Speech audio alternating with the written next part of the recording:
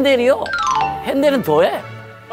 게오르 게오그르 게오르그 게오르그 아 게오르그 게오르그 프리드리히 핸델. 맞아? 그거나? 아무튼 음악의 아버지는 현철 아닙니까?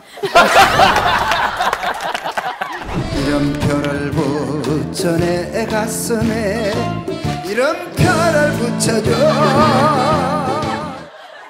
아 이경철 씨. 그 저기.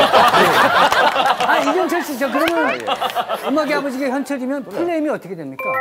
벌떠와 현철. 벌떠와 현철.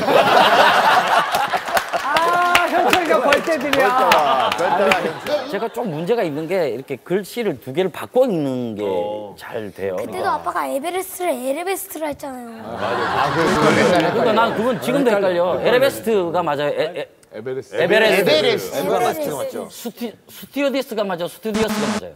스튜디오스 디어스.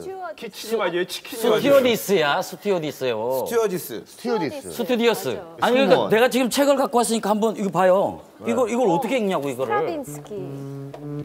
이고리 페로도비치 페도로비치 그러니까 이고리 페도로비치 스트라빈스키는 1980 82년 82년 그러니까 6월 17일 러시아 상트 상트 페테르 상트페테르버그. 생트 아니, 이거 브루크 저 이- 이세왕 선생 한번 근교에서 태어났습니다. 그래, 그래. 좀 부탁을 한번 해보죠. 약간 난독증 있으신 것 같아요. 아니고 글을 잘못 읽네. 아, 이걸 어떻게 읽어요? 이거 아나운서 할아버지라도 안 되지. 이고리 페도로비치 스트라빈스키는 1882년 6월 17일 러시아 생테페르트부르크 자, 차 타고 뿡뿡.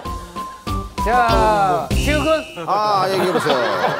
시욱은 아빠랑 차 타고 가는 게 왜 싫어요? 왜냐하면 아빠가 방구를 어, 엄청 많이 껴서요 아빠가 방구를 사줄게요. 네 엄청 많이 껴서 아빠 별명이 방귀 대장 뿡뿌릉 뿡뿡뿌릉 뿡뿌릉 뿡빵 뿡뿌릉 뿡삥이에요 그럼 동생들은 뭐라고 안 해요? 어 저번에 제 동생 시아가 아빠가 방구 꼈는데 냄새를 킁킁 맡더니 어 이건 똥이잖아 이렇게 말했어요. 그 방귀 소리만 들어도 아니면 방귀라는 단어만 들어도 애들이 까르르 웃잖아요. 그러니까는 억지로라도 그냥 방구를 억지로 이렇게 껴준 적도 있어요. 웃으라고. 그래서 애들이 그냥 해피하고 너무 즐거워서 이렇게 예, 하하호호 이랬던 기억이 있죠. 그래서 마냥 좋을 줄 알았는데 그게 싫었어? 그 시우야. 아빠가 차에서 방귀 뀌는 게 그렇게 싫어? 네 왜냐하면 아빠가 창문을 안 열어주니까요. 창문을 열어야지, 그걸. 창문을 아니 고분이지. 아니 추운 겨울에 예 창문 열기 좀 부담스럽잖아요.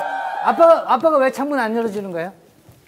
왜냐하면 냄새를 계속 맡으면 코가 마비돼서 음 냄새가 안 난대요.